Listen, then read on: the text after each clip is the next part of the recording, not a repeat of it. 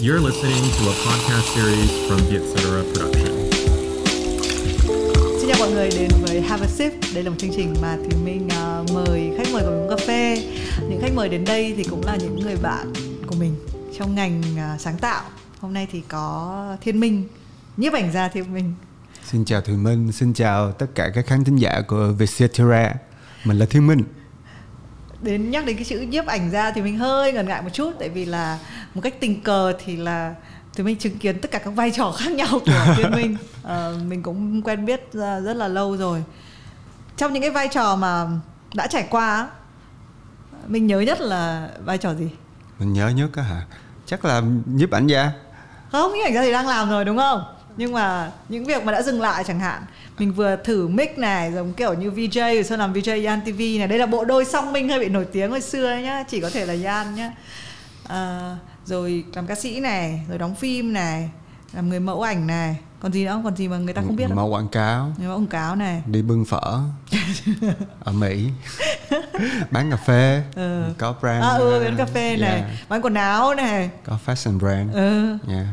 nhiều nghề quá. Nhưng mà ừ, có cái gì mà nếu mà không phải là nhiếp ảnh á thì có một cái nghề gì bạn sẽ làm lâu được trong những nghề đã làm không Chắc có lẽ là mình sẽ chọn gắn bó với lại fashion brand của mình. ok thế à? Tại sao? Tại vì ờ, nó là một tổng thể của tất cả những thứ mà minh đã từng làm vào trong đó.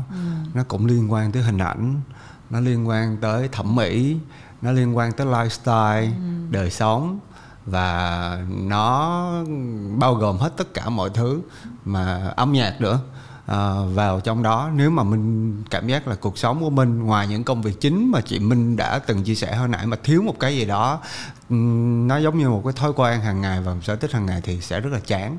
Thôi nếu mà có quyền chọn thì mình sẽ chọn cái đó. Nhưng mà công việc yêu thích nhất và muốn gắn bó lâu dài nhất và sẽ không bao giờ bỏ đó sẽ là nhiếp ảnh nhiếp gia ảnh gia. À, cái hành trình này trở thành nhiếp ảnh của mình cũng khá đặc biệt à, thì mình biết mình à, cái thời điểm hồi làm chung ở Yan TV là một này. Xong sau đó thì mình nghĩ là có một cái thời điểm cực kỳ quan trọng. Đấy là mình nhìn thôi nhá. Tại vì thực ra bản thân ai mà chả ao ước được có một cái bước ngoặt ở trong cuộc đời một cái bước ngoặt mà nó đến nó phải có một cái lực kéo. Tại vì đôi khi bản thân một cá nhân nó không đủ cái lực kéo đấy.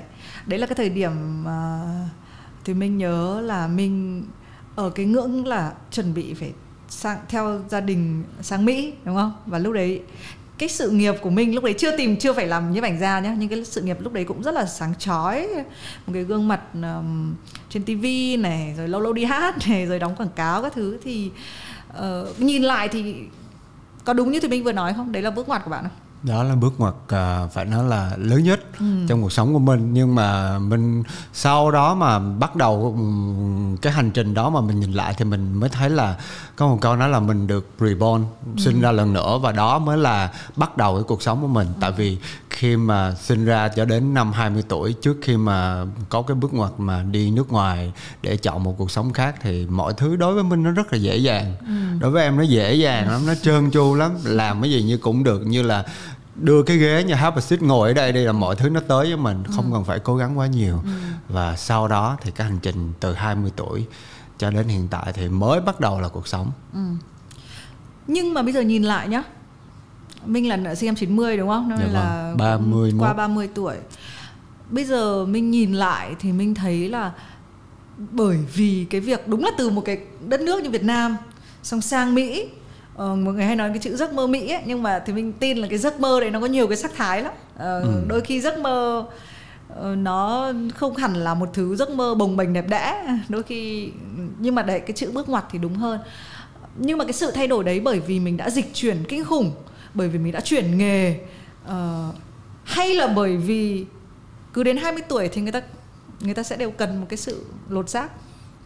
Em nghĩ là từ nhỏ đến lớn lên em là một đứa hiện tại luôn là một đứa suy nghĩ rất là nhiều. Có thể là không bộc lộ ra quá nhiều nhưng mà là một người suy nghĩ rất nhiều.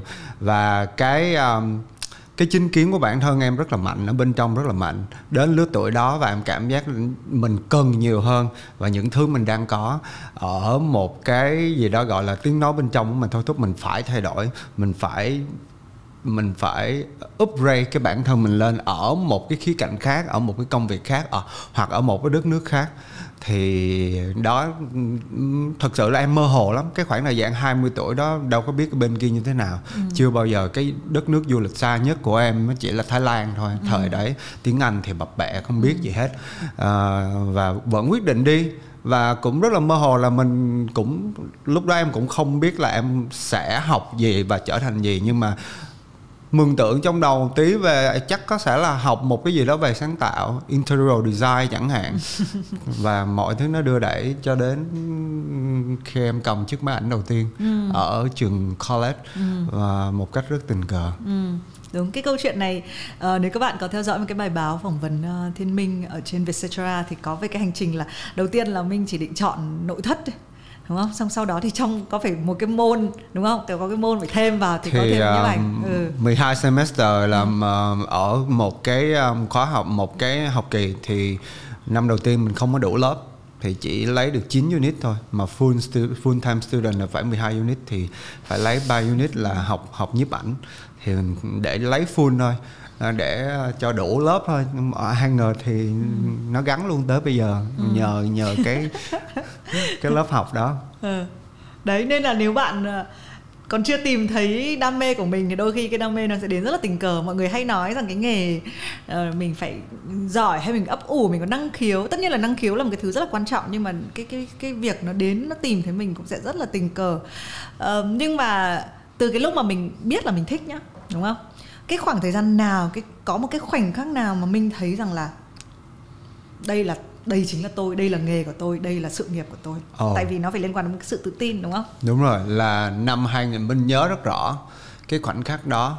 Đó là năm 2013 khi mà lớp của mình có đi uh, uh, tham dự một cái um, ở trong cái uh, những cái người uh, giáo sư học dạy dạy học ở nhiếp nhiếp ảnh thì có dắt đi một cái ờ, museum tour. Thì mình có tham dự được một cái buổi triển lãm của uh, bậc thầy về nhiếp ảnh mình gọi là legendary đi là Richard Avedon. Thì mình coi được hình của ông uh, tìm hiểu về story uh, của cái người nhiếp ảnh gia đó và cái khoảnh khắc mình đứng trước hơn 500 bức ảnh trên một cái trần cao hình như là khoảng ba mươi mấy bốn mươi mét gì đó mà toàn bộ là hình đen trắng thì mình cảm thấy mình giống như là uh, mình rơi xuống. Cảm giác là mình rơi tự do xuống một cái một cái vực á mà nó có rất là nhiều sao ngôi sao nó nó rớt xuống cùng với mình. Nó cảm giác nó nó nó đẹp khủng khiếp. À, mình nhớ cái cảm giác đó là mình không bao giờ quên được cái cảm giác đó và mình nói ồ thế giới của mình phải là cái này và mình phải đi cái con đường này và mình phải chọn lựa cái cái điều này cho ừ. những cái ngày tháng sắp tới trong tương lai của mình ừ. và mình đó là cái khoảnh khắc mà mình nói là mình phải là nhiếp ảnh gia ừ. nhưng cái cảm giác này nó có khác uh, với những cái khoảnh khắc mà đã từng trải qua trong đời trước đó không? Ví dụ như là ví dụ đứng trên một sân khấu đúng không? Hay là đúng hay là xuất hiện trong một cái ví dụ một cái sản phẩm quảng cáo hay là mình lên bìa báo chẳng hạn? Thật sự ra tất cả những cái lĩnh vực mà minh đã từng làm khi mà 20 tuổi trước khi mà làm nhiếp ảnh gia thật sự là minh luôn có một cái sự tự ti. Mặc dù mình tự tin thì mình được trả tiền làm việc đó mà mình phải tự tin chứ. Nhưng mà mình lý do em, em quên luôn luôn luôn nhắc về một điều này. Lý do và vì sao mình rất là dễ dàng từ bỏ những cái công việc trước đó mà đã từng làm đó là minh luôn thấy mình thiếu và không tự tin hoàn toàn ở cái công việc mình mình đang làm lúc đó mình chưa đủ giỏi.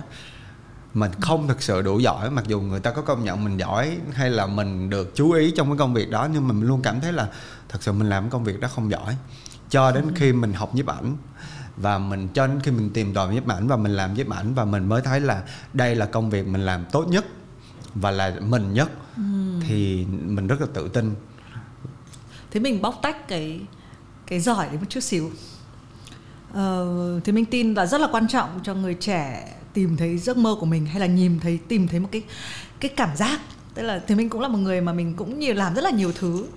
Nhưng mà nó không có cái gì làm cho cho mình đánh đổi được cái cảm giác mà mình đang mình đang làm cái tờ báo ví dụ như thế. Ừ. thì đây là cái công việc hiện tại của thế mình ở Vietcetera. Ờm, nhưng mà sau đó nó sẽ đến cái cái cái cái bản thân mình ờ, là cái chủ thể đầu tiên ạ nhé mình rất là thỏa thuê cái đó đúng không? Và cái đó là cái quan trọng nhất. Thế nhưng bây giờ nó sẽ là cái người khác nhìn vào. Trong cái nghề của mình thì cái chữ giỏi đó nó sẽ được nó có những cái thước đo gì không? Chữ giỏi đối với mình nó trong cái công việc à, sáng tạo nói chung đi ừ. là phải có cảm xúc. Ừ. à, cái một cái sản phẩm có thể 2 năm, 5 năm hoặc là 10 năm đi chẳng hạn nhìn lại mình vẫn có cảm xúc đối với cái cái cái cái những cái mình đã từng làm đối với mình là giỏi. Ừ. Nghệ thuật nó rộng lắm và sáng tạo nó càng rộng hơn và không có một cái khuôn khổ nào hết nhưng mà cảm xúc thì em nghĩ là mỗi người sẽ có riêng mặn ngọt đắng chát hay là xấu đẹp gì đó à, khi mà nhìn lại mình vẫn cảm thấy có cảm xúc với cái cái điều mình đã tạo ra và cái điều mình đã từng thích thì đối đối với em thì cái đó là một điều rất là đẹp. Ừ. ví dụ một bộ phim hay Ừ. chẳng hạn 10 năm sau xem lại mình vẫn cảm thấy nó hay thì nó thật sự là một bộ phim hay. Ờ, có có nhiều thứ là một năm mình coi lại thì mình cảm thấy nó không còn hay nữa và nó không còn đẹp nữa. Đối với em thì đó đó thì nó không có đạt chuẩn được cái cái cái đẹp mà mà trong cái con người của em thì mình muốn um, thì mình rất là đồng ý với việc là đúng là tạo ra cảm xúc tạo ra rung động là cái thứ khó nhất khi mà Dạ. làm nghệ thuật. Ờ, thế nhưng mà mình nói về tính kỹ thuật của nghệ thuật đi. Ờ, có phải có một cái một cái người mà làm làm một cái chủ thể sáng tạo tạo ra những cái tác phẩm có phải sở hữu một cái technique một cái kỹ thuật nào đấy mà không ai có được không? Em nghĩ là việc gì đó cũng phải balance. Nhưng mà đối với em nhiếp ảnh nói riêng đi ha. Hiểu về con người nó quan trọng hơn là hiểu cái máy ảnh. Ừ hứ, hay quá. Dạ em nghĩ là như vậy. Ừ. nên ờ, một trong những signature cũng trong những cái sản phẩm của em thì em nghĩ đó là cảm xúc. Là xét về kỹ thuật thì học là được Ừ. tìm tòi là được upgrade máy móc là có thể được nhưng mà cái thứ cảm xúc là mình còn phải nuôi dưỡng trau dồi. Có khi là mất cả nhiều nhiều năm đôi khi người ta cũng không có tìm được cái đó. Nên nên nên à, nói là một người em là một người à, an toàn thì cũng không đúng. Nhưng mà em là một người thích cái cái sự phiêu lưu trong cái công việc nhiếp ảnh này là thì cũng không đúng. Nhưng mà em luôn chọn lựa cái gì mà mình làm tốt nhất đó. Đó. Nhưng ờ, cái tiêu chí mà chụp được những người mà người ta rất là khó tính hay là những cái ngôi sao thì thì cũng là một cái cái cái tiêu chí chứ hả? em nghĩ là người ta dễ tính. Ừ, khi mà ai biết là- hình thiên minh chụp. Ờ, à, em ok. nghĩ là giống như vậy. Ừ. đây là một điều mà em em nghĩ là không phải là nhiếp ảnh gia nào hoặc một người làm sáng tạo nào thì thì cũng có được. Họ luôn dễ tính khi biết đó là hình của em chụp. Ừ. đó là cũng là một cái điều thuận lợi dành cho em. Em nghĩ là giống như vậy. Nhưng mà trước cái đó trước cái lúc mà thuận lợi á dạ. thì ờ, mình đã chọn cách bóc tách các cái ngôi sao như thế nào? Thì mình ờ, nói một chút về background. Ờ, thì mình biết là thiên minh ờ, có chuyển nghề tại vì mình cũng biết nhau lâu rồi. Nhưng mà đúng là cái cái tính cảm xúc hay cái tính rung động mà mình nói đấy là là lúc mà mình nhìn những cái bức ảnh chân dung các ngôi sao. Tại vì mình cũng tin là những cái người bình thường ai cũng có cái câu chuyện của họ mình tin vào cái điều đó. Vâng. và nếu mà biết kể thì nó sẽ đều rất là rực rỡ rất là đẹp.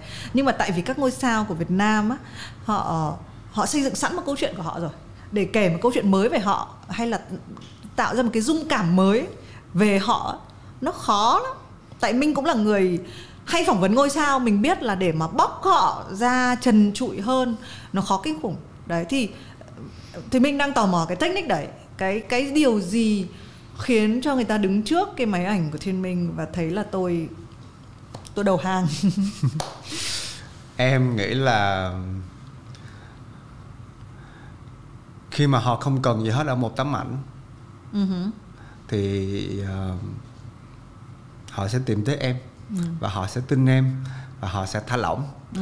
bởi vì ờ, nói nôm na ở một cách giống như vậy kể một câu chuyện nhỏ đi ha Ờ, em đó là người thực hiện sản xuất hình ảnh cho bìa album Vol chính của Mỹ Tâm Ừ. thì uh, xuyên suốt cái buổi chụp ngày hôm đó à, em là một người rất hâm, hâm mộ chị Mỹ Tâm. Uh, âm nhạc của Mỹ Tâm và kể cả cái con người của chị Mỹ Tâm ở ngoài đời. Thì mọi thứ trong cái buổi chụp hình ngày hôm đó nó rất là thoải mái. Nhưng à, nó chia thành hai set hoàn toàn khác nhau. Tất cả những hình ảnh mà mọi người được thấy ngày hôm đó là hình là hình em chụp lén chị Mỹ Tâm. Và Mỹ Tâm không biết là chị Mỹ Tâm đang được chụp. Ừ. và em uh, có gửi hết toàn bộ cái hình ảnh đó. Đáng lý ra là thì theo cái cách làm việc của em thì uh, em sẽ rất ít khi nào những hình mà thực sự em thích á mà em biết người ta sẽ không sử dụng á hoặc là người ta sẽ không hợp với những hình ảnh đó thì em sẽ không bao giờ gửi. Nhưng ngày hôm đó là em đã gửi hết tất cả bộ toàn bộ cái bộ cái cái cái cái bộ ảnh đó và rất là highlight cái cái cái bộ ảnh những cái hình ảnh đó mà chụp behind the scene? Highlight thì rồi extra là em rất là thích những cái hình ảnh giống À. giống như vậy thì có đầy đủ thì um, vô tình chị Tâm về xem cái cái cái cái cái Ừ. loạt đó thì có gọi cho em thì chị rất thích thần thái của chị trong cái Ừ. cái cái cái bộ ảnh lần đó và muốn set up lại một buổi chụp toàn bộ thay đổi concept giống như là behind the scene. Ừ. trong cái cái buổi chụp giống như là em đã chụp giống như chị giống như vậy. Và buổi chụp lại set up giống như vậy nhưng mà cuối cùng là toàn bộ hình ảnh là vẫn sử dụng cái, cái ngày cũ đúng không? cái cũ. Hay quá quá hay. Ờ, nhưng mà đấy nhá mình nhìn thấy cái đấy rõ em ràng nghĩ là trong hình ảnh đó ờ, chân dung và ờ, cái mà chụp hình mà như Minh nói là lột lột tả cái nhân vật bóc bóc bóc bóc vỏ đó. Tính toán quá nhiều thì không có gì hết á. Đôi khi á, là giống như vậy và đó cũng là cách làm việc của em luôn á. Ờ, đôi khi những cái mà mình không có expect quá nhiều không có gồng mình lên để để làm cho người ta khóc người ta cười hay là người ta sexy hay là người ta phải là người ta khác đi hoặc giống người ta bình thường thì thì mình gượng ép nhiều quá thì nó lại không có. Ừ, đúng. Cái này thì mình công nhận. Bởi vì ờ, đúng là trong cái thời gian làm nghề đầu tiên mình cũng luôn nghĩ là mình lột bằng cách là mình hỏi thật là khó. Dạ. và mình hỏi thật là gắt. Dạ. để cho người ta phải trả lời thì thôi. Sau này thì mình phát hiện ra là à có một cái thứ khác gọi là tự lột bỏ. Nếu mà mình để cho họ thoải mái mình chịu khó mình nghe câu chuyện thôi bằng cái cách chân thành nhất á, thì là ai cũng thế. Ai cũng có cái nhu cầu rằng là đây là tôi đúng không? Mà quan trọng là em nghĩ là trong công việc sáng tạo khi mà một người đã là ngôi sao rồi ở tìm mình á thì mình phải cho họ tin. Tin mình trước là bởi một cái sự an toàn á. Dù vậy là thoải mái như cách nào thì vẫn là một cái sự rất là để cho người ta tin á người ta an, an toàn. Ừ. Có thể là người ta tin em. Ừ. Nhưng có thể trong mặt em đáng tin hơn Dạ. những ảnh gia khác như một nhiếp ảnh đang có mặt trong phòng này chẳng hạn. Không người này cũng cũng cũng được nhiều người tin. Dạ. Ờm, nhưng mà có em có ai mà rất là khó chụp không? Một cái người kiểu một cái cái kiểu gương mặt hay là một cái kiểu câu chuyện nhân vật nào mà? Có em tự tạo áp lực cho em thì có. Khi đứng trước những người như tượng đài như là em đã từng chụp cô Khánh Ly à, hay là cô Lệ Thu những người mà nghe tên thôi mình đã quýu lại hết rồi. Đó giống như vậy. Thì mình tự mình mình tự rất là áp lực tạo ra rất là áp lực cho mình. Đó, giống như vậy nhưng mà thế xong sao? Làm thế nào để vượt qua cái áp lực đấy? À, mình nghĩ đây là lần cuối cùng. À. Em luôn nghĩ đây là lần cuối cùng được chụp được được, được chụp họ. Đó. Nên cố hết sức thôi. À, mình nên mình không được không được Quýu. không được quýu. Hay quá thế bây giờ nhá ờ, tại sao tại sao lại là tại sao nhiều đen trắng đến thế? Em quay trở lại cái câu câu câu câu chuyện mà em đã từng nói với chị là Richard Avedon. Ờ, mấy trăm tấm ảnh. Và giai đoạn đó đã qua rồi. Của em cũng đã qua rồi. Và không biết có phải là thành công hay không. Đối với em ờ, đó là một điều em phải nhớ trong cái trong cái sự nghiệp của em là nhắc đến thiên minh thì nhắc tới chân dung và nhắc tới đen trắng thì cũng là một cột mốc ờ, rất rất là cần đáng phải trân quý mình tự trân quý cái điều đó trong trong cái công việc của mình. Đó là cái em muốn mọi người nhớ và và thật sự mọi người đã nhớ rồi.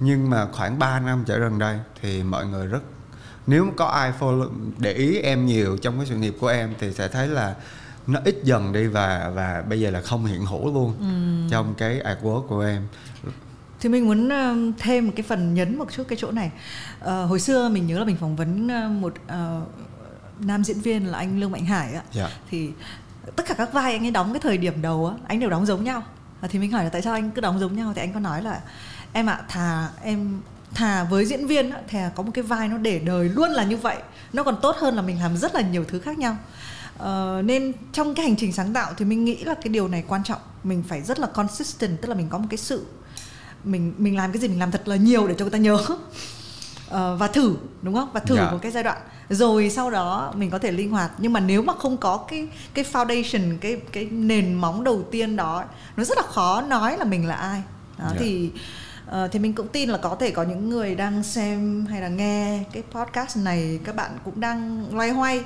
thì mình thấy là đôi khi đấy hãy kiên định và nó mình cũng tin là sáng tạo nó phải có đủ thời gian. Có nhiều người thử một cái gì đấy 3 tháng đã thấy khó quá đã muốn đổi. Thì mình tin là phải trên 2 năm làm cái gì cố gắng rồi, làm trên, trên 2, 2 năm. năm. Đủ. Đây thì bây giờ mình sẽ nói đến hành trình mới. Từ một người đen trắng. Trông là rất là minimal cái cái cái cái style của thiên minh rất là rõ. Và đặc biệt là cái thời điểm đó ở Việt Nam với một nhiếp ảnh gia trẻ thì mình thấy nó rất là bô nó rất là kiểu đậm á yeah. đó đấy bây giờ Contract. đấy nó bây giờ thì thì có màu này rồi um, gần nhất cái bộ ảnh mà thì mình đã thấy đến cái chân dung thứ 8 là chân dung em Á yeah. là cái màu nó rất là saturation ừ, rất là rất là đậm nó, nó đậm này yeah. nó nó mặn này đúng không nó tại sao nó có cái tại sao nó có cái màu này nhưng mà em hỏi trước lại chị Minh là vẫn có thấy Thiên Minh trong đó không nếu bảo là đấy là cái cùng cái người mà chụp đen trắng thì mình không tin. Ừ. cái này nói thật. Tất nhiên là bạn làm bây giờ tất nhiên là mình biết là chính là thiên minh thì, thì tình sẽ nếu mình chẳng lịch sự mà đương nhiên là thiên minh trong đấy. Nhưng à. mà nếu mà mình đưa hai cái bức ảnh tại vì thì mình ngay trước cái thời điểm mà phỏng vấn thiên minh thì mình có xem lại cái instagram. Mình có một cái cái insta cá nhân của mình thì là toàn là KOL work nhưng mà cái instagram riêng về nhiếp ảnh á thì mình thấy nó như là hai người. Hoàn toàn khác nhau. Ừ. có một cái sự uh, làm nghệ thuật em nghĩ là làm công việc sáng tạo. Đôi khi vẫn có một sự bốc phải có một sự bốc đồng ở trong đó. Tỉnh táo quá cũng không hay. Ừ. bốc đồng trong em em em đã từng nghe rất nhiều người em làm công việc này 5 năm hơn rồi. Em đã nghe rất nhiều rất nhiều người nói là một người nhiếp ảnh gia. Nếu không có tự thay đổi mình á ba năm sẽ bị đào thải. Và có một số người chỉ làm được một kiểu giống như vậy thôi. Nhất và em nghe một câu chuyện là một cái người đã nói là bản thân em nói em là thiên minh sẽ không chụp được một kiểu khác đặc biệt là không biết là không không chụp được ảnh màu.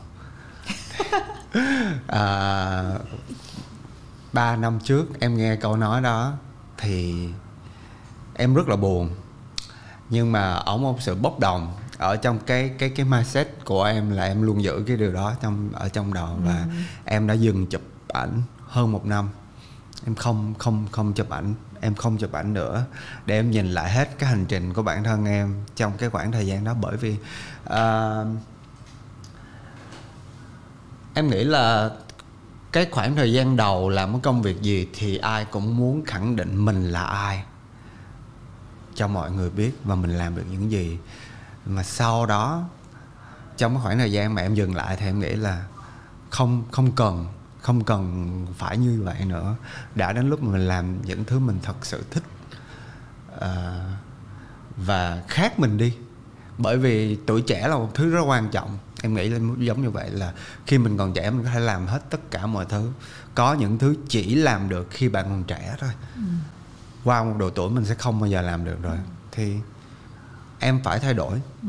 đó là là là một cái điều em nói là em phải thay đổi nếu không mình sẽ tự đào thải chính bản thân mình trong cái công việc sáng tạo này và em ngưng chụp khoảng một năm hơn em tập trung vào một công việc khác đó là ừ. mê man ừ. thì em làm mê man khoảng một hơn một năm hơn thì cũng may là covid do covid thì mình có rất là nhiều thời gian thì lúc đó thì mình mới muốn bắt đầu cái mà mình đã ấp ủ trong suốt một cái khoảng thời gian mình không chụp chụp ảnh mình xem phim mình đi du lịch mình nghe nhạc rất nhiều à, mình à, kể cả mình mình mình học hỏi ở chính ở những cái mà ở chính những cái điều mà mình muốn làm á ở trước đó mà mình không làm được trong khoảng thời gian đó thì năm 2020 thì em mọi người thấy cái sự thay đổi của em ừ. rất là rõ rệt. Ừ.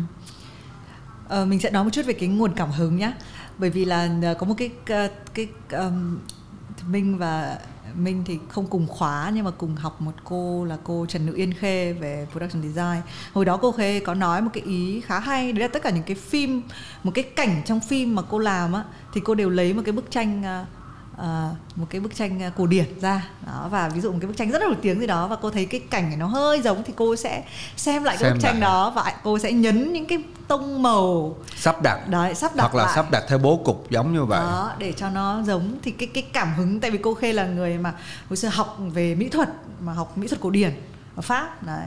Còn minh thì sao? Cái um, thì mình hiểu rằng cái cái cái đen trắng nó đến từ cái cái khoảnh khắc thay đổi đó rồi thế nhưng bây giờ sang màu thường thì cái cảm hứng của bạn hay là những cái tông màu của bạn nó nó hai hai điều mà chị Minh nói là cũng là cái sự thay đổi lớn nhất của bản ừ, thân em đó đúng. và đó là nguồn cảm hứng của em luôn à. là xuyên suốt là cái khoảng thời gian mà đi học lớp khê về thì thật sự em là một người trước đó rất ít xem phim sau đó là mình nghiện phim mình luyện phim khủng khiếp phim xem phim tất cả các thể loại từ cổ điển và cũng tham gia rất là nhiều cũng cái lớp học và workshop về phim thì phim ảnh đã giúp em rất nhiều trong cái uh, trong cái cái sự trở lại trong cái cái uh, một cái một cái thiên minh ở diện mạo mới trong nhiếp ảnh và cũng như là tranh thì mình um, vẽ tranh. trong uh, em đã vẽ tranh ừ. và xem tranh rất nhiều và mình mình uh, Ờ, mỗi ngày thì thường lúc trước chỉ coi ờ, game show, những cái mà về giải trí hoặc âm nhạc trên youtube, thì có những cái channel mà nó chỉ update về tranh uh, về tất cả những cái những cái người uh, họa sĩ từ cổ điển cho tới uh, contemporary. Nhưng bây giờ hiện đương thời bây giờ modern bây giờ thì em coi rất là nhiều. Và do tranh xem tranh nhiều thì một phần thì có thể mọi người không không không thấy được trong cái những cái sản phẩm của mình đâu. Nhưng mà đó là cái nguồn cảm hứng. Ừ. khi mà sáng tạo thì nguồn cảm hứng nó rất là là là quan quan trọng. Ừ. thì từ đó thì mới mới em có được tiếp cận màu sắc cũng như một sự thay đổi nó dễ dàng hơn. Ừ. uhm, nói về cảm hứng trong cái bộ ảnh mới đi. Ừ. à, một cái series project mới. Mình đoán một tí. Dạ. Uh, chân dung em á á thì thì cũng không phải cần từ rap của Binz mình cũng hiểu rằng hiểu là, châu, là Á. châu Á. Cái tính châu Á. Tuy nhiên nói đến cái cảm hứng châu Á ấy, thì chúng ta bị ảnh hưởng bởi Trung Quốc rất là nhiều. Cái ừ. cái tính Trung Hoa cái màu Trung Quốc nó rất là mạnh. Tuy nhiên thì mình muốn hướng một cái cảm giác của mình về về Hồng Kông. Nó có một cái gì đó mà nó contemporary hơn nó nó đương đại hơn. Nó cho nên là thì mình mới thấy thì mình cảm giác thì mình rất là muốn bạn nhắc về chuyện du lịch các thứ nữa. Thì không hiểu là mình đi Hồng Kông chưa và cái cái cái, cái nó có chứ còn nếu mà nếu mà gọi nó là cái cảm giác hướng Trung Hoa thì mình thấy hơi oan này và trước, hơi dễ nói trước khi mà trả lời cái câu hỏi này thì uh, chia sẻ với điều này thì em khẳng định lại một lần là Trung Quốc là Trung Quốc mà Hồng Kông là Hồng Kông. À, okay. Thật sự đối với quan điểm của em là hai thứ đó nó không có giống nhau. Và em đã từng đi du lịch Trung Quốc rồi và em cũng đã từng xem à, em đã từng đến Hồng Kông rồi luôn rồi. Thì thật sự à, nó cũng giống như là sao ta? Uh, xem xem nhưng mà rất totally ừ. different vậy đó. Ừ. nó giống như vậy. Nếu mà bạn có tìm hiểu bạn yêu thích cái văn hóa đó thì hai thứ đó nó không có giống nhau. Uh, không thể bàn cãi. Tất cả mọi thứ liên quan tới châu Á đều bị ảnh hưởng rất nhiều đến Trung Quốc.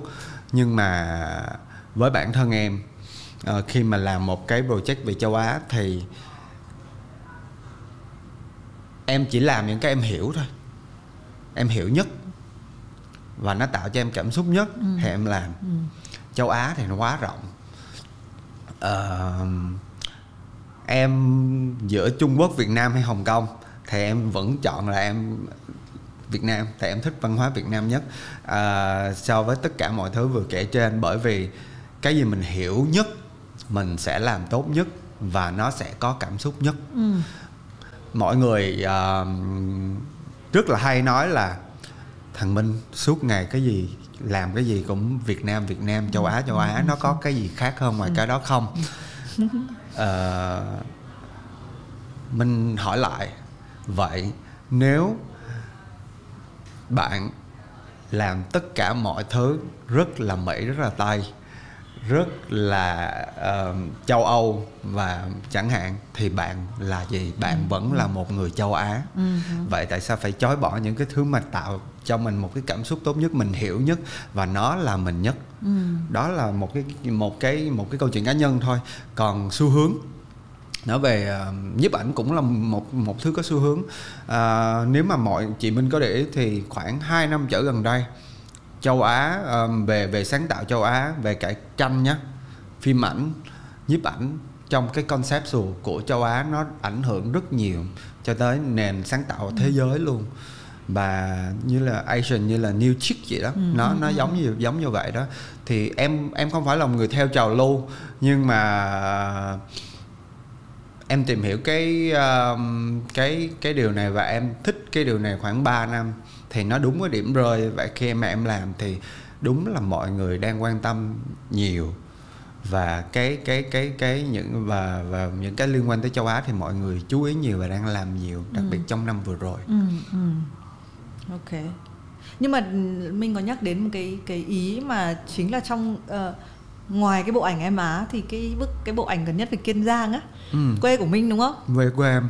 Nó cũng rất là nó cũng rất là đậm nếu chị Minh có coi uh, nhiều hơn tại vì đó không có nằm trong những cái project chính uh-huh. trong mà em muốn highlight trong cái uh, công việc nhiếp ảnh của em thì em có đến uh, vài series giống như vậy uh-huh. và kể cả là một bộ ảnh về Hà Nội nữa uh-huh. không biết chị Minh có coi chưa một bộ ảnh mang tên là bố chị à có thể okay. um, tìm tìm luôn tìm tìm sau đó cũng được và coi okay. thì đó cũng là một trong những cái uh, em nghĩ là signature của bản thân em ừ. uh, mà cái việc vấn đề mà khi mà em cảm thụ và khi mà em xem phim nhiều và em em em những chuyến đi du lịch đó nó tạo nên cho em một cái content rất là là là tốt ừ.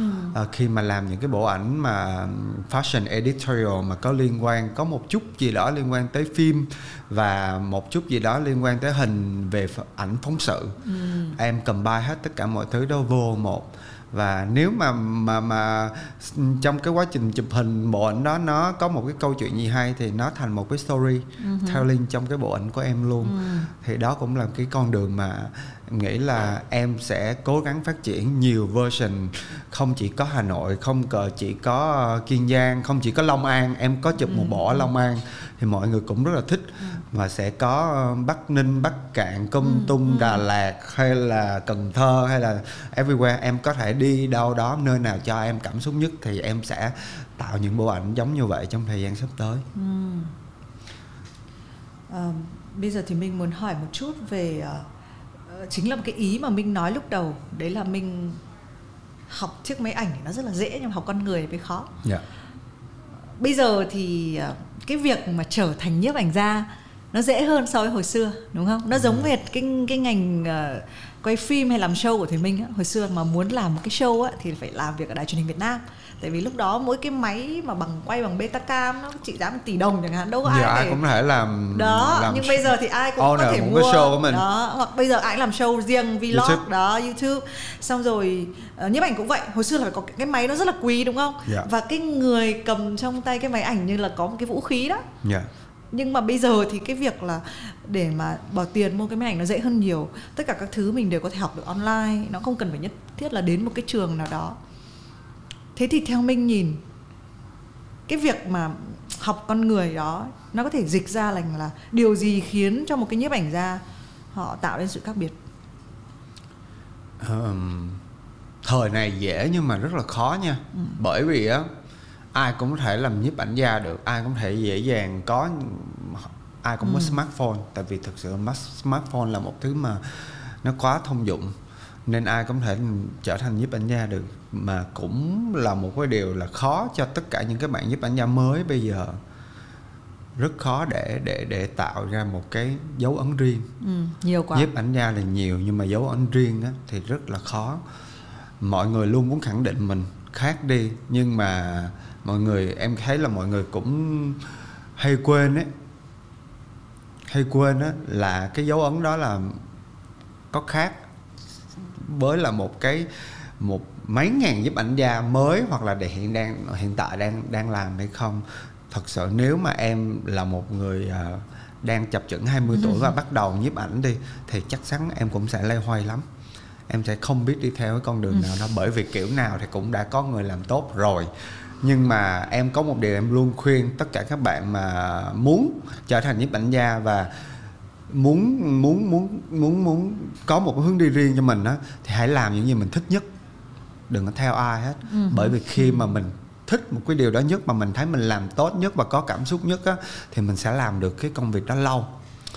À, người ta hỏi thiên minh hay hỏi thiên minh đang nằm ở vị trí thứ mấy?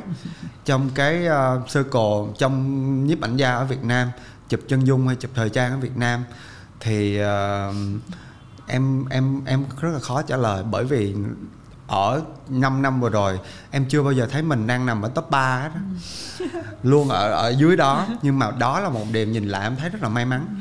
À, bởi vì biết sao không? chưa bao giờ lên đỉnh của cái sự nghiệp nhiếp ảnh á. Nên á, luôn là một người phải cố gắng rất nhiều và dồi dào cảm xúc. Phải rất là rất là phải dồi dào cảm xúc trong cái công việc của mình. Tại vì á khi mà mình ở ở cái cái đỉnh của công việc đó rồi á thì rất là khó mình đi đâu đúng không dạ mình đi đâu nữa bây giờ đó nên một là mình phải đổi một cái giới hoàn toàn khác ừ. hai là mình phải vẫn mãi ở đó mà ừ. nếu mà mình mãi ở đó thì sẽ có người khác đổi cái vị trí đó lên ừ, cho mình ừ. may mắn của em là em chưa bao giờ lên đỉnh cao trong cái ừ. công việc này nhưng mà em có định lên đỉnh cao không ờ... và và em nghĩ là cái gì sẽ đưa em lên cái đỉnh đó tới đến một cái lúc nào thì coi như là ok hết em đang là thật sự ra mà nói em là một người không tự cao ừ. à, nhưng mà em luôn có sự tự tin ừ. trong cái con người của em em em đã là đỉnh cao trong cái công việc của em ừ. à, vài năm gần đây à, ở một cái khía cạnh mình phải nhìn ở một khía cạnh ừ. một khía cạnh nào đó mình đang ở điểm cao ở trong cái công việc đó rồi mọi người có thể có vẫn mơ hồ ở một cái khía cạnh nào đó mà cái ông này ổng đang nói nhưng mà no, cái đoạn này dễ thương tức là rồi hiểu rồi tức đó. là mình uh, mình không muốn tỏ ra tự cao quá nhưng mà mình đúng là tự tin ở khúc này đúng không? Nhưng mà lúc nói có phải kiểu hơi hơi, hơi ngượng. đó đó là là là cái mà em em em nói lúc đó đâu nhưng mà thì mình đang định nói là mình cứ hay sau khi mình xem cái phim Tenet có ừ. xem cái phim Tenet không có nhiều các cái chiều thời gian xong thì mình nghĩ là chả có một cái nào mà nó một chiều các cái đỉnh cao các cái chữ số ấy, đấy chỉ là so đo một chiều với nhau thôi Đây, ai em... cũng có những cái chiều khác á. chiều khác ừ. và có một điều giống như vậy là em hỏi chị Minh chị Minh có biết người giàu nhất á ừ. ở thế kỷ thứ 17 á ở Việt Nam hay châu Âu là ai không người nổi tiếng nhất ở thế thế kỷ đó là ai không ừ. không đúng không tại vì không ai hỏi câu này bao giờ còn nếu mà có người hỏi trước thì sẽ research và đó là một đó là một cái một cái câu mà em chiêm nghiệm để làm gì quan trọng là mình có cảm thấy vui với cái công ừ. việc mình đang làm và ừ. mình cảm thấy thoải mái và thích hay không ừ.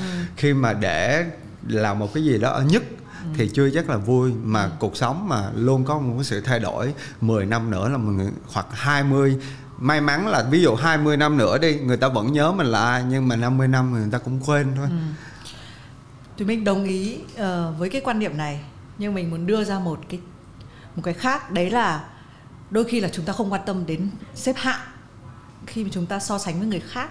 Yeah. Vâng. Nhưng mà chúng ta luôn có một cái vị trí trong tâm tưởng của chính chúng ta là chúng ta muốn cái này sẽ là oách nhất của tôi có thể đến cái thời điểm đó mình lại nghĩ không oách nhất là khác nhưng mà yeah. Dạ. nhưng mà thì mình tin là trong ở giai đoạn này đó mình sẽ có. nghĩ là khi mà tôi làm được cái điều này ạ nhưng quay trở ngược lại về cái con người của bản thân em khi mà em expect á mà đưa ra những con số quá nhiều á là nó chút quốc nó không có vô gì hết còn những thứ mà em hồn nhiên á ừ. em rất hồn nhiên nhá thì nó tạo cho em một cái hiệu ứng hoàn toàn bất ngờ ừ ví dụ như cái chân dung may má quay trở ngược lại câu chuyện là em không định đưa e cái bộ ảnh đó lên online. Tám bộ ảnh đó em chỉ chụp trong vòng 3 ngày thôi ở một location. Và đó là bộ ảnh là em dự định là sẽ triển lãm. Thì bởi vì đó là toàn bộ là chụp ảnh phim. Come out ra em khi mà chụp 3 ngày em cũng không biết ảnh nó là như thế nào. Bởi vì đi chán thì mình mới biết và sau đó thì kết quả nó cũng wow khá bất ngờ. Thì mình cảm thấy là mình rất khác artwork của mình rất khác. Và cho những người bạn thân cận của mình xem thì mọi người hoàn toàn đều rất là thích những cái bức ảnh đợt đó của mình. Thì mình à, à, em mới quyết định là năm 30 tuổi của em thì em phải có một cái triển lãm everything sắp xếp xong xuôi lên layout 3D hết location mọi thứ rồi thì dịch nó tới. Và cái location mà em làm triển lãm thì họ họ return lại cái deposit của em luôn. Đó nên không có làm được cái buổi triển lãm đó. Đáng lý là chân dung em á sẽ là một cái cái triển lãm à, em làm ra thì hình để lâu thì nó cũng sẽ bị cũ. Mà em lại thấy mọi người lại bắt đầu chụp cái kiểu đó là phong phanh là chụp cái kiểu đó thì mình lại sợ mình là người làm trước nhưng mà lại không làm sau. rất là mà em là mất hứng là em sẽ không làm. Và những bạn mà làm project chung á support cho em project đó thì mọi người lại hối hình thôi dịch buồn quá thôi mình cứ tung ra và cũng không respect gì nhiều như là một cái bộ ảnh editorial theo kiểu giống như vậy thôi. Còn không chưa có tên nhưng chưa có tên cụ thể nó là cái gì mà chỉ là châu Á thôi. Cái content chính là châu Á tất cả cảm hứng về châu Á và phụ nữ châu Á. Xong rồi tung cái bộ ảnh đầu tiên lên của Châu Bùi thì Ủa, thế chữ em áo đó có phải từ Binz không? Không phải là từ Binz em có từ trước đó rồi okay. em thề là có từ trước đó và cái khi mà em chụp châu và có có apply vô cái cái cái cái cái project đó là trước khi có tin hai bạn đó rất là hot trên mạng xã hội. Đó thì uh, thì mới tung ra ừ. ngay điểm rơi ngay đúng đó thì đó là một cái chưa bao giờ em xài mạng xã hội mà một bộ ảnh nó có tới mấy ngàn mấy ngàn share ấy. Ừ. nên mình mình mới mình bị quýu lúc đó mình lại bị quýu cho những cái bộ ảnh sau thì mình đã chết rồi nên em cũng ngưng một thời gian ừ. em mới trở lại ừ. thôi ok thì mình hiểu rằng là không nên kỳ vọng đôi khi phải giữ nhiều em, cái sự hồn nhiên hồn nhiên ừ. em nghĩ là làm nghệ thuật là phải hồn nhiên hoặc là phải để một sự kỳ vọng hay tính toán đó cho một cái người nào khác backup ừ. ở vào sau lưng mình chứ làm sáng tạo mà không hồn nhiên thì thì thì ừ. work của mình sẽ khô lắm ừ. mà đến một lúc nào đó làm mà cứ tính toán nhiều quá này nó không hay nhưng mình không hình dung là mình sẽ sẽ trở thành ai nếu mà gọi cái mốc 5 năm nữa mình đang làm những ảnh kiểu như thế nào? Mình đang làm cái gì? Vậy hả? Em em vẫn chụp hình thôi. Cho dù bây giờ chỉ có em có qua châu phi sống hay là qua ở một một cái vùng quê nào rất xa ở miền tây em sống thì em vẫn chụp hình thôi. Em nghĩ là giống như vậy. Chụp có thể giai đoạn đó cái Instagram mà chị thấy á, mà chị nói toàn bot của KOL của em á thì em chỉ chụp cỏ hoặc rau em trồng thôi ừ. hoặc là mây trời thôi sẽ không thấy thiên minh đâu nữa nhưng mình ngửi thấy mùi đấy là một cái hình dung về bản thân trong tương lai đó. Ừ, mỗi là... mỗi giai đoạn thì em luôn lựa chọn và rất là kiên định cho cái đó. À, nên à, đừng ai thúc em hay dông gia đình hay là partner của em hay bạn bè em cũng vậy. Đừng ai thúc em một vấn đề hết. Càng thúc em thì cái điều đó nó càng khó xảy ra. Nhưng mà khi mà em đã đúng thấy đúng cái điểm rơi đó rồi thì mọi thứ nó không ai cản được hết cái điều đó ừ. có thể 5 năm nữa thì như là cái điều em nói chị Minh nói Instagram của em là chỉ chụp still life và và và chỉ toàn là mọi thứ về thiên nhiên thôi chứ không thấy mặt của em nữa ừ. đó cũng là một cái cái mà em nghĩ là nếu được thì cũng rất hay đó ừ. nên thì mình vẫn không rút lại cái ý kiến về việc là thực ra trong một cái bảng xếp hạng của trong chính chúng ta chúng ta sẽ có những cái cái cái mục tiêu mới. Uh, và không ai có thể đánh giá được là cái mục tiêu này thì nó cao hơn cái mục tiêu cũ. Vâng. nó không có nó chỉ là à đến một cái tuổi của tôi mức độ trưởng thành của tôi. Uh, tuy nhiên với một nghệ sĩ ấy, thì nó luôn nó không bao giờ dễ dàng như vậy cả nó luôn có sự đấu tranh. Ừ. uh, thì mình thấy rất là nhiều nghệ sĩ sẽ nói rằng là à tôi sẽ về hưu tôi sẽ về vườn tôi sống cuộc sống an yên. No nhưng mà lúc nãy em có nói là có ở đâu em vẫn chụp hình đúng không? Ừ, mặc dù em chụp mây trời vẫn làm cái công việc đó đó em không bao giờ bỏ cái công việc này ừ. mặc dù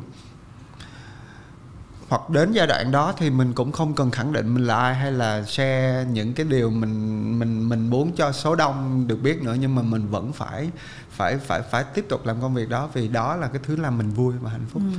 Hát cho một người nghe chẳng hạn. Ừ. ví dụ một người ca sĩ em cũng nghe rất là nhiều người nói là giải nghệ hay đến năm bao nhiêu đó không làm ca sĩ nữa thì em cảm thấy điều đó nó không hay. Ừ. bởi vì rất không sự tính toán quá lỡ vẫn hát. Bản thân là em nghĩ là không làm ca sĩ cũng được nhưng mà vẫn phải phải hát. Ví dụ giống như vậy không làm nhiếp ảnh gia cho mọi người cũng được nhưng vẫn phải chụp hình. Đối với em là giống như vậy nhưng bây giờ đã qua 5 năm có thể 5 năm tới nó sẽ rất là khác hoặc yeah. là dạ. nó như thế nào đấy. Cái điều thì mình cũng thích ở chỗ là à mình đừng áp đặt cho nó là nó sẽ là như thế này. Ừ. nhưng có cái khoảnh khắc nào hay là có một nhân vật nào mà nếu mà trong 5 năm tới bạn làm được thì bạn sẽ bị cái cảm giác cứu không? Cái từ này nó rất là miền Nam nhá. Quýu nha. Quýu quýu, quýu. chứ ngoài Bắc đọc là quýu à, cuống. Cuống. À. bị luống cuống. Luống cuống luống cuống. À, choáng váng đấy nhiều từ. Nhưng, nhưng mà, mà từ quýu dễ thương mà. Ừ, đúng rồi. Nhưng mà nó rất là miền Nam nhưng mà khi mà người Bắc mà thử nói nghe nó cũng dễ thương như người miền Nam nữa. À, có ai mà bạn bạn nghĩ là nếu bây giờ họ bạn chụp hành hình họ bạn sẽ quýu quýu hả? Quýu một người mà em em tiếp xúc rất nhiều rồi ừ. là em rất là thích nhưng mà chưa bao giờ chụp được chú đó là Tuấn Ngọc À, nhưng có ảnh backstage đúng không? Ảnh backstage thì rất là nhiều chụp lén hoặc là ừ. chụp đi nghe hát thôi nhưng mà em muốn một lần đó danh chính ngôn thuận ngồi studio với em hoặc đi đâu đó với em để em em em em chụp ảnh với với chúng mà hàng chú uh, mãi chưa được ừ. chưa chưa có đủ duyên mà em nghĩ là sẽ có ngày đó xảy ra ừ. sớm thôi nhưng mà đó là một người uh, em rất là là ngưỡng mộ và rất rất muốn chụp chụp chú Ok, mình đợi ngày cứu đó mình nghe đồn là chú này sắp về Việt Nam sao? Không, đang ở Việt Nam rồi. À, dạ. À? Mới gặp hôm trước ở Park. À, à ok. Dạ. Rồi hôm nay cũng trò chuyện đủ nhiều. Thường thì trong cái buổi này mình hay hỏi là ơi cà phê này uống này mình cũng thì mình cũng đoán đoán là thiên minh uh, khi đã chọn chọn cốc cà phê sữa đá cái gì đấy nó rất là rất là đúng với con người của mình uh, tất cả những cái câu hỏi mà mình hay hỏi khách mời về chuyện bỏ hay là được thì hôm nay ừ. cũng một cách vô tình mình cũng khá nhắc khá nhiều đến những cái hành trình đó. Bỏ hay được? Ừ. nếu bây giờ ngồi điểm lại cái thời gian đã qua bạn thấy bạn đã phải bỏ đi nhiều nhất là cái gì? Bỏ đi nhiều nhất? Em thấy không chả bỏ gì hết. Nhưng mà ở giai đoạn này thì em có nghiệm ra một điều. À, không có gì là tự nhiên hết nó đến với mình á, trong cuộc sống của mình á, là mọi thứ không có gì tự nhiên hết và cũng không có gì là vô vô nghĩa hết á. Ừ. mọi thứ nó đều có ý nghĩa của nó em nghĩ là giống như vậy và điều đó đến là nó phải đến ừ. nó nó nó không không không không có gì phí hết ừ. khi mà nghĩ là giống như vậy có khoảng giai đoạn đó thì khi mà mình gắn kết với một điều đó đi hoặc là một cái công việc đó thì mình thấy ôi phí nếu mà quay thời gian quay trở lại mình sẽ làm giống như vậy. Nhưng phải làm mình mới biết cái đó là có một cái kinh nghiệm là mình phải không nên làm ở thời gian sắp tới hoặc hoặc là mình có một những cái bài học chứ. Nên em cũng không tiếc cái gì hết. Nhưng mà có một điều à, em nghiệm ra trong ở cái tuổi này hoặc với là những người làm về sáng tạo đặc biệt về nhiếp ảnh đó em nghĩ có một điều rất cần thiết mà em muốn khuyên mọi người rất là nhiều là sell time cái thời gian dành cho bản thân á rất là quan trọng. À, mọi người khuyên bên nếu mà có một lời khuyên dành cho những cái bạn mà à, đang làm cái công việc này về sáng tạo hay là về về ở lứa tuổi này mọi người điều gì mà để giúp mình có thể làm tốt cái công việc vẫn thấy happy với lại cân bằng được đó là self time.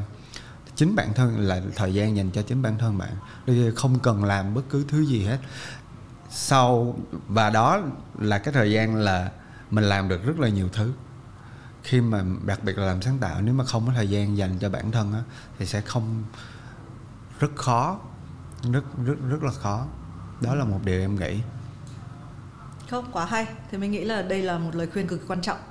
Ờ, thì mình đang định ép vào bởi vì với cái kinh nghiệm của cái người đã biết thiên minh từ cái hồi nhỏ xíu ấy 19 20 tuổi cho đến bây giờ á và nó cũng rất là tình cờ với cái việc là 19 à 19 Ờ, dạ. 20 chuyển đi thì là 19, ngày trước dạ, đó dạ, luôn dạ. trời ơi là đang đi hát sau đó thì mình ờ, làm khách mời trong một cái chương trình ở Yan TV thì mình mới thấy thì mình nghĩ là à đây là một cái cậu mà mình có thể thử ờ, ngỏ lời làm việc cùng sau đó thì mình có, có chỉ có thể là Yan và hồi đó là cứ mỗi buổi sáng mà quay ấy là phải ngồi luyện luyện, luyện lại cách luyện lại cách nói tiếng Việt và nói tiếng Anh Ờ. dạy nói Ừ. Nhưng cái ừ, thiên minh của cái tuổi 20 trông lúc nào cũng như là đang băn khoăn cái gì đó.